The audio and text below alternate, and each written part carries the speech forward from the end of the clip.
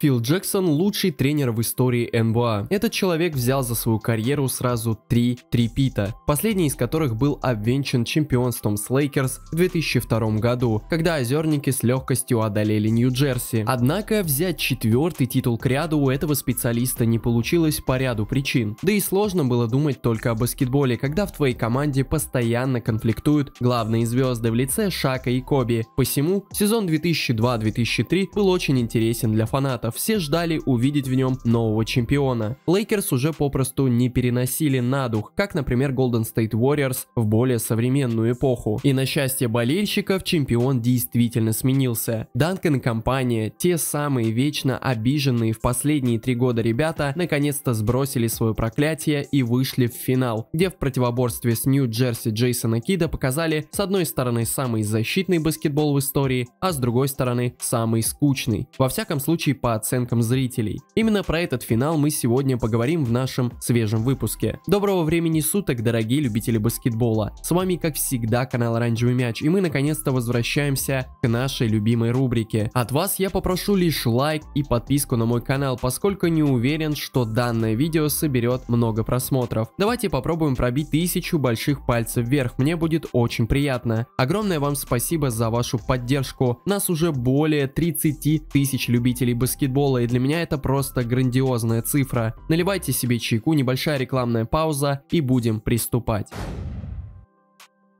А спонсором сегодняшнего ролика, как всегда, являются наши друзья из Ghetto Basket. Данный магазин славится большим ассортиментом баскетбольной атрибутики, а также продукции других популярных брендов. Семилетний опыт на рынке, достойное качество, быстрая доставка и отзывчивый продавец. Все как всегда. Для того, чтобы выбрать что-то для себя и оформить нужный заказ, вы можете посетить телеграм-канал магазина, их паблик во Вконтакте или официальную страницу Instagram. Ссылки, естественно, будут в описании. А тем, кто проживает в Уфе, советую посетить данный магазин лично и ознакомиться с ассортиментом. Адрес указан на экране. Выбирайте, покупайте и носите с удовольствием. Но не только ссорами Коби и Шака были прогнозированы исходы того сезона. Во-первых, Лейкерс буквально не меняли свой состав, что всегда чревато стагнацией и регрессом. Во-вторых, ближайшие конкуренты озерников на западе, Сакраменто Кингс, имели трех молодых баскетболистов, которые должны были сделать серьезные шаги вперед. Пежи Стояковича, Майка Биби и Хедо Туркоглу. В-третьих, конечно же, мощные Спёрс, которые были очень голодны до побед. Перед командой Поповича в межсезонье были поставлены серьезные вопросы. Робинсона на пенсию или оставлять в команде? Такой, наверное, был главным. Дэвид Робинсон в плей-офф после травмы в прошлом сезоне был очень плох. И надеяться на завоевание перстней с этой ходячей, прошу прощения, развалиной в роли основного центрового было очень трудно. Но с другой стороны, как можно выгнать живую легенду из команды? Естественно, его оставили, но взяли на подмену еле-еле передвигающемуся адмиралу еще более древнего ветерана 40-летнего Кевина Уиллиса. Как была проблема у Спёрс с центровыми в прошлом году, так она и перешла в новый сезон. Поскольку про команду двух башен можно было смело забыть, акцент в новом чемпионате был сделан на укрепление задней линии, и здесь у Сан-Антонио был полный порядок. Хорошо проявивший себя в прошлом году Тони Паркер в этом году должен был прибавить еще больше. После травмы вернулся в состав клуба атакующий защитник Стивен Джексон, а ему на подмену из-за океана подъехал аргентинец Ману Джинобили, выбранный на драфте еще в далеком 99 пятом. История про Ману есть на канале, можете посмотреть. Приход Ману Джинобили в Сан-Антонио станет поистине судьбоносным. В будущем его роль для клуба будет похожа на ту, которую играл в легендарном Бостоне 80-х Кевин Макхейл. Перед началом сезона стало очевидно, что чемпион вновь придет с запада, и список главных фаворитов ничуть не изменился по сравнению с прошлым годом. Это были бы Лейкерс, Сан-Антонио или Сакраменто. На востоке за место финалиста стоило ожидать борьбу между Нью-Джерси, Бостоном Детройтом и Филадельфией, но только за выход в финал, потому что никто не рассчитывал, что команда с Востока победит в чемпионате. В Орландо, кстати, должен был вернуться Грант Хилл, но после двух лет вне игры мало кто верил, что из этого возвращения что-то получится.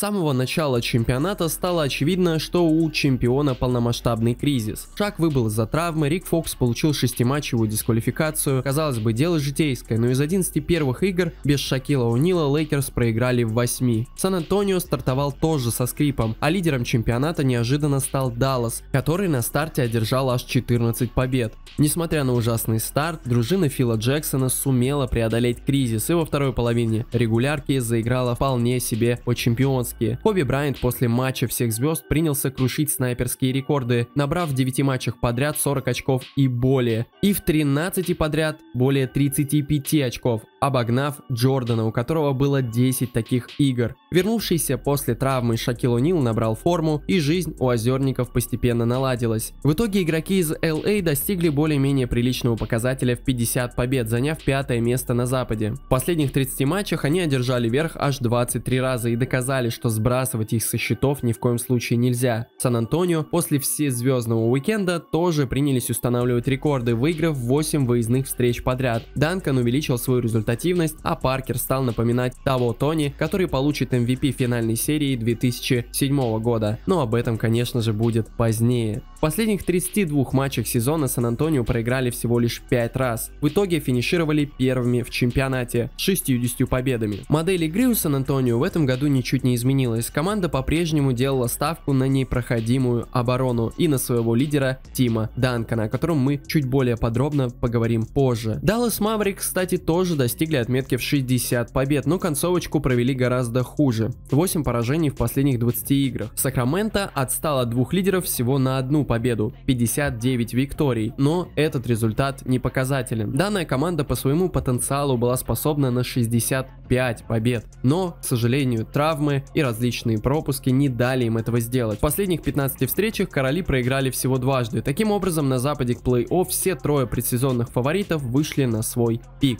На востоке же Индиана Пейсерс не выдержала бремени лидера и в феврале-марте выдала две серии по 6 поражений подряд. В итоге в конференции 5 команд закончили чемпионат примерно на одном уровне 47-50 побед. Детройт занял первое место, а за ним расположились Нью-Джерси, которые смогли приобрести Мутомбо, но это никак их не усилило, потому что он не играл из-за травм. Далее были Индиана, Филадельфия и Новый Орлеан, бывшие Шарлотт Хорнетс. В заключение этой главы хотелось бы немного остановиться на награде MVP. Особых вопросов, почему ее получил Данкан, нет. Его команда выиграла регулярку, а он был ее непререкаемым лидером и в нападении, и в обороне. Данкан набирал по 23,5 очка в среднем за игру, 13 подборов и практически 3 блокшота. Второе место, кстати, занял не Коби, который бил рекорды, не Новицкий, чья команда набрала также 60 побед, а Кевин Гарнет, чья Миннесота еле-еле перешагнула за отметку в 50. Удивительно, но раз уж награду получил Тим Меди, остальное уже не особо имеет какое-то значение. Все предельно заслуженно.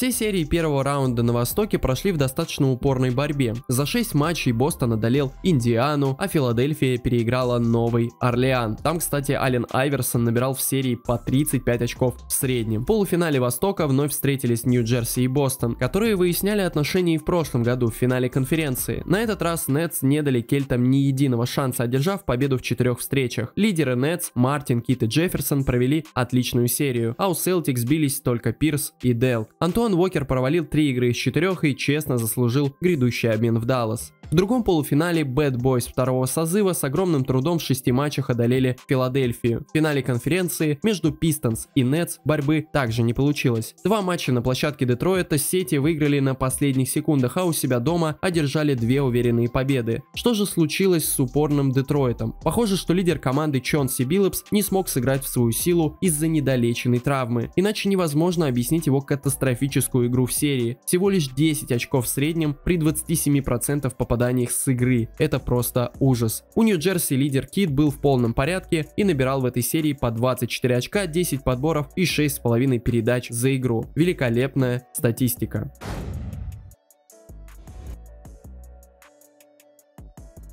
Первом раунде Запада Даллас на пару с обладателем самой большой платежной ведомости Портландом устроили одну из самых странных и захватывающих серий плей-офф НБА за всю историю. В этом сезоне в Trail Blazers вновь появился после годичного отдыха Арвидас Сабонис. Трудно сказать, зачем он вернулся в этот клуб, который к этому времени уже ни на что по сути не рассчитывал. Сабас наверняка мог помочь Сан-Антонио, например, и получить напоследок перстень чемпиона, но не сложилось. Тренер орегонцев Мо Чикс не сильно доверял ветерану, и Сабонис выходил со скамейки минут на 10-15. Портленд третий год подряд вышел в плей-офф с низкого места, что вновь предвещало первопароходцам отпуск после первого раунда. Серия началась с трех побед Далласа. Если бы это случилось в прошлом году, то Портленд уже бы паковали чемоданы, чтобы отправиться в честно заработанный отпуск. Но с этого сезона первый круг стал играться до четырех побед, поэтому парням из штата Орегон надо было уступить еще одну встречу техасским далласцам. Вроде бы все предпосылки для этого были. Портленд уже потерял Скотти Пиппина и основного защитника Дерека Андерсона, но тут начались чудеса. Трейл Блейзерс принялись штамповать одну победу за другой. Тогда еще совсем молодой Зак Рэндольф при поддержке Рашида Уоллиса устроили Маверикс хорошую трепку. Портленд одержал три победы подряд, последний из которой Даллас был просто растоптан. Диркс сыграл в шестой игре просто отвратительно набрав 4 очка. В этой самой шестой встрече блеснул Сабонис. Всего за 12 минут игрового времени он набрал 16 очков и 8 подборов. Над фаворитом сезона нависла угроза самого позорного поражения в плей-офф за всю историю, но для клуба Сабаса миссия оказалась невыполнимой. Решающий матч прошел в равной борьбе, но Далласу удалось вырвать концовку. Дирк в этом матче показал всем, кто в этой серии настоящий хаслер, набрав 31 очко и принеся победу своей организации. Справедливости ради тяжело начали плей-офф не только в Далласе, но и в Сан-Антонио. Команда потерпела поражение в первом матче от Феникса на своей площадке, одержала трудную победу во втором, легкую викторию в третьем, но на своем паркете опять уступила в четвертом. Итоговая победа в шести играх над аризонской молодежью, такие как Марбери, Амаре Стадемайер, Джо Джонсон и Шон Мэриан, далась шпорам крайне нелегко. В немалой степени по причине невыразительной игры Тима Данкана, который набирал всего лишь по 18,5 очков в нападении. Так или иначе, Сан-Антонио прошли дальше. Миннесота в четвертый раз подряд вылетела в первом раунде, но сейчас Кевин Гарнетт мог гордиться собой, ведь он забрал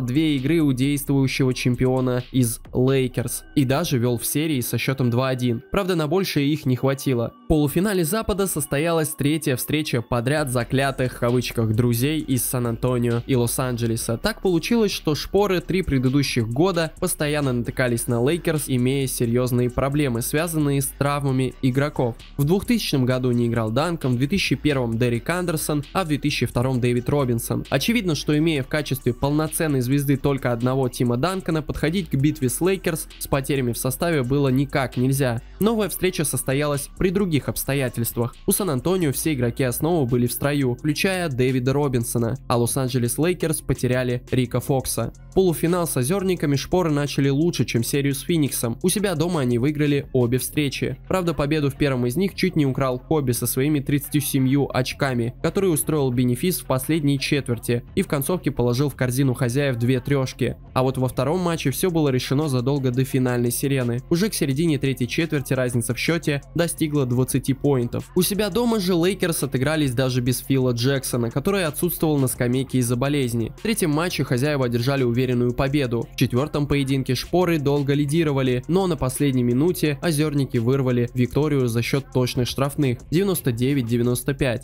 Все в этой серии решал пятый матч в Сан-Антонио. Шпоры уверенно выигрывали поединок, добившись 25-очкового преимущества, но рано расслабились. Озерники устремились в погоню, Коби начал набирать очко за очком, и в концовке встречи Лейкерс смогли сравнять счет. Но штатный киллер озерников Биг Шот Роб на этот раз промахнулся. В итоге Сан-Антонио выиграли с разницей всего лишь в 2 поинта 96-94. Фокс был травмирован, Орри не в форме, в результате чемпион сложил свои полномочия. В шестой игре Сан-Антонио учинил озерникам форменный разгром на их паркете 110-82. MVP регулярки Тим Данкан провел лучший матч плей-офф, набрав 37 очков и 16 подборов, а Тони Паркер записал на свой счет еще 27. Да, месть у Сан-Антонио получилась очень сладкой. Шак и Коби были самыми раздосадованными людьми на тот момент в мире. В этом сомневаться не стоит. На противостояние Далласа и Сакрамента в другом полуфинале конференции фатальным образом повлияла травма Криса Уэйбера во второй встрече.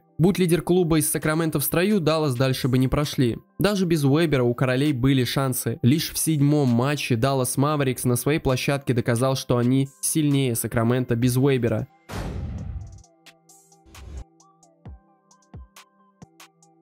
Финал Запада я, как обычно, постарался выделить отдельно, потому что многие фанаты именно его считали официальным. Никто не воспринимал команду с Востока как конкурент на чемпионство. Вывеска у этого финала была превосходная, находящийся на пике карьеры Тим Данкан против нового Ларри Берда, Сия НБА Дирка Новицки. Оборона Сан-Антонио против лучшей атаки чемпионата. Эта серия должна была бы стать битвой титанов, но как и предыдущее противостояние Далласа и Сакрамента, была испорчена травмой, на этот раз уже у Далласа. Первая игра на площадке Спёрс, казалось бы, подтвердила прогнозы о том, что это будет выдающаяся серия. Даллас победил, вырвав у шпор концовку со счетом 113-110. Данкан набрал 40, Новицкий 38 и так далее. Во второй игре хозяева достаточно легко отыгрались, а потом победили и в третьей, уже в Далласе, оторвавшись в счете лишь в последней четверти. Собственно говоря, в третьем матче противостояние двух клубов фактически и закончилось, потому что в концовке встречи травму левого колена получил Дирк Новицкий. На фоне разбушевавшегося Данкана, который во всех трех играх набирал более 30, Далласу оставалось только выбросить белый флаг. Но небольшая сенсация все-таки случилась. Маверикс без Дирка проиграли четвертую встречу на своем паркете в упорной борьбе, но затем смогли одержать фантастическую победу в Сан-Антонио со счетом 103-91. Хозяева уверенно выигрывали пятый матч, но Нэш и компания устроили шпором разгром в последней четверти. Отличную игру выдал Майк Финли, а у Сан-Антонио очень не вовремя провалил встречу Тони Паркер. В серии появилась интрига, но жила она недолго. История умалчивает, что сделал Грег Попович со своими ребятами после пятого матча, но в шестом поединке шпоры буквально удушили снайперов Далласа в последней четверти, ограничив их 9 очками, а сами набрали 34. Итоговая победа 90-78, и Сан-Антонио выходит в финал НБА.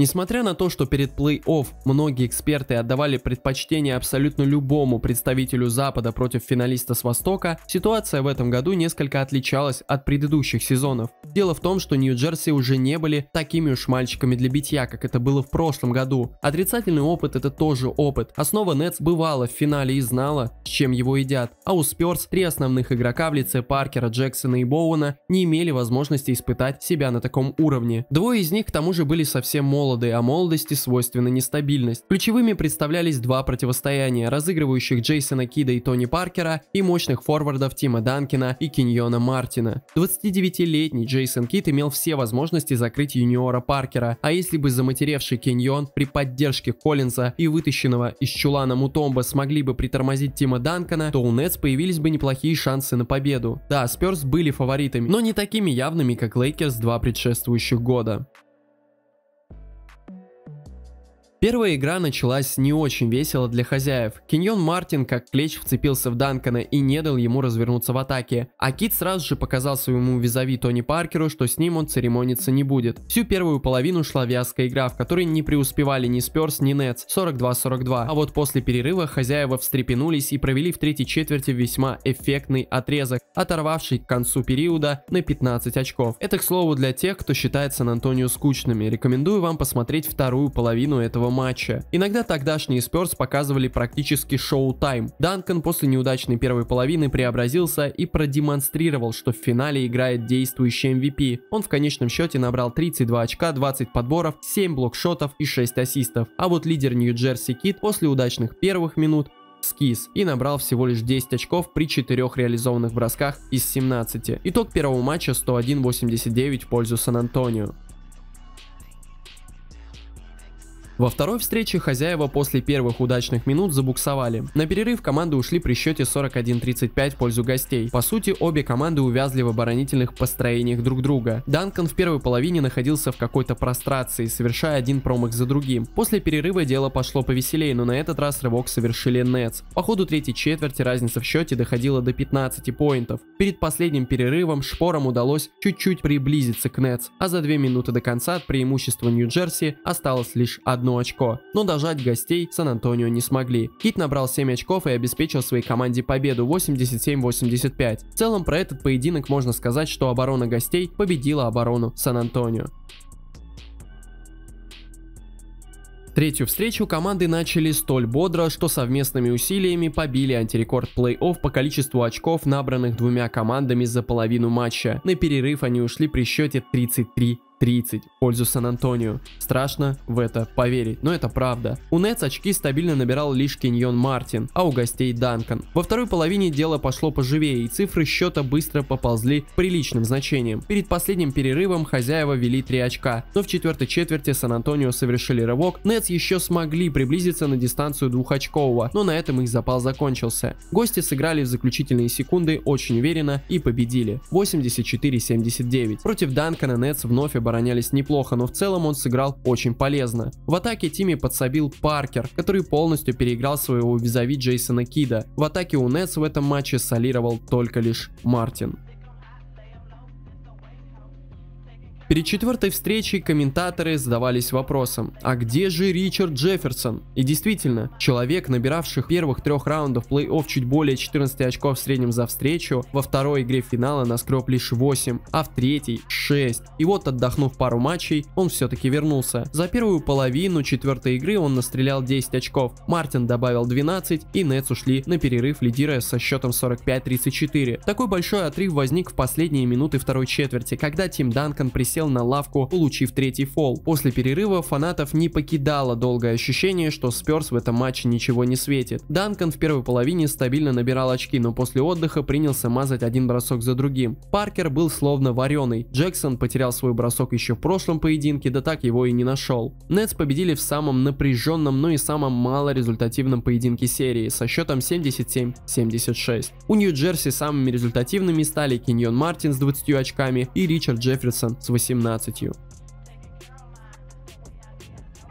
Пятая встреча вновь проходила под диктовку Сан-Антонио, и на большой перерыв они ушли при счете 42-34. Тим Данкан набрал 14 очков за первую половину. После перерыва вновь встрепенулся Кит, и Нью-Джерси быстро догнали гостей. Но Сперс в этом поединке чувствовали себя настоящими хозяевами и быстро ответили рывком 13 к 3, оторвавшись от Нетс на 9 очков перед последней четвертью. Кит и компания нашли в себе силы практически догнать Сан-Антонио, но тут же пропустили очередной рывок. В итоге итоге концовка встречи прошла спокойно, а Сан-Антонио одержали уверенную победу и по сути решающую в серии 93-83. До второго титула им оставалось сделать лишь один шаг. Шестая игра, к удивлению фанатов Сан-Антонио, началась так, словно Нетс играли дома, и именно они собирались завершать сезон. Первая четверть закончилась со счетом 25-17 в пользу гостей. Дальше больше. В третьей четверти Нетс довели свое преимущество до 12 очков, а за 9 минут до конца показалось, что седьмой игры не избежать. 72-63. Игра у хозяев не шла, многочисленные ошибки просто убивали их. Но когда отступать уже стало некуда, Сан-Антонио вдруг принялись без проблем набирать эти самые очки. А Нетс словно впали в анабиоз. За 9 минут Кит сумел ответить на 25 очков Сперс двумя попаданиями в кольцо. И все. Один только Киньон Мартин промазал 7 бросков подряд. В итоге Сан-Антонио одержали уверенную победу 88-77 и стали чемпионами НБА. Тим Данкан в этом матче сотворил трипл-дабл, 21 очко, 20 подборов, 10 передач и 8 блокшотов. Адмирал Дэвид Робинсон добавил 13 очков и 17 подборов. Последняя игра в карьере престарелому адмиралу явно удалась. Билл Симмонс о том финале высказывался так. Баскетбол внезапно стал отстоем, и во всем виноваты Сан-Антонио. Это все началось после агрессивно непривлекательной финальной серии, у которой были худшие рейтинги за 26 лет. Даже показанные в повторе матчи финала 81-го смотрелись лучше, чем прославленная схватка двух непроходимых защит. Вместе Нетс и Сперс не набирали даже более 170 очков за матч. Нью-Джерси атаковал с процентом ниже 37 и ни разу так и не смог выйти за 90 очков. Как к этому относиться, решать только вам, но защитный баскетбол появился еще в конце 90-х, и то, что финал не оправдал зрительских надежд, не делает его отстоем, как сказал Билл Симмонс. Финальные серии с Шаком и Коби были более рейтинговыми, чем финал с Данканом и Кидом лишь по причине большей популярности лос-анджелесского тандема на общеамериканском американском телевизионном рынке. Шоу-бизнес слабо связан с профессионализмом. Главная звезда финала 2003 года Тим Данкан как игрок ничуть не уступал ни Шаку, ни Коби, но он гораздо менее медийная фигура. В любом случае, этот финал был интереснее, чем то, что фанаты увидели в прошлом году. В большинстве матчей шла серьезная борьба. После четырех встреч счет был равный, а шестую игру Сан-Антонио вытащили буквально чудом. Сезон 2002-2003 это год Тима Данкана. В прошлом плей-офф озерники остановили Сперс и не дали лучшему игроку чемпионата сделать дубль, взяв два главных индивидуальных приза. Теперь же, добавив к MVP регулярки MVP финала, Тимми присоединился к таким легендам, как Мозес Мэлоун, Ларри Бёрд, Мэджик Джонсон, Майкл Джордан, Хаким Оладживон и, собственно, Шакил О'Нил. В финале Данкан не был так ярок, как в сериях с Лейкерс и Далласом, в которых он набирал по 28 очков, но на его счету две впечатляющие игры, первая и пятая, и статистически безукоризненная шестая. Да и в целом его статистика по итогам шести финальных поединков выглядит весьма пристойно. 24,5 очка, 17 подборов, 5 ассистов и 5 блокшотов. В финале особой зрелищности Сан-Антонио действительно не показали, но при этом не стоит забывать, что Сан-Антонио не были скучными ни с Лейкерс, ни с Далласом. Просто в финале чемпион натолкнулся на команду, которая сделала такой же акцент на обороне. Коса нашла на камень, и зрелище зрители, увы, не увидели. В целом, эта организация явно еще не вышла на свой пик, и Грегу Поповичу было над чем работать в следующем году. Так что натужная атакующая игра Сан-Антонио в финале была вполне объяснима. Данкан не мог тащить команду в одиночку, дальнобойщики не попадали отбивали свои броски, а проходящие к кольцу игроки задней линии шпор утыкались в крепко оснащенную защиту Нетс. В итоге чемпион в финале набирал всего лишь по 88 очков за игру. Для сравнения, Далласу шпоры отгружали по 101 очку, а пурпурно-золотым почти сотню за игру. Ну и самое главное, чем был ознаменован этот сезон, тандем Коби и Шака был повержен. Фанаты были в основном довольны, кроме, разумеется, болельщиков Лейкерс. А на этом, друзья, в общем-то все. Подошло к концу наше очередное историческое путешествие по ленте времени НБА. Надеюсь, что вы смогли досмотреть это видео до конца. Поскольку тот финал действительно не был особо популярен, полагаю, что и ролик много просмотров не соберет. Но в любом случае, рад, что смог поделиться этим с вами. Оставляйте в комментариях свое мнение по тому финалу, будет очень интересно почитать. Подписывайтесь на мой телеграм-канал, ссылка на который, как всегда, в закрепленном комментарии. Или можете перейти по QR-коду, который видите на своих экранах. Услышимся в новых новых видео. Любите баскетбол, всего вам самого доброго, не болейте и до связи.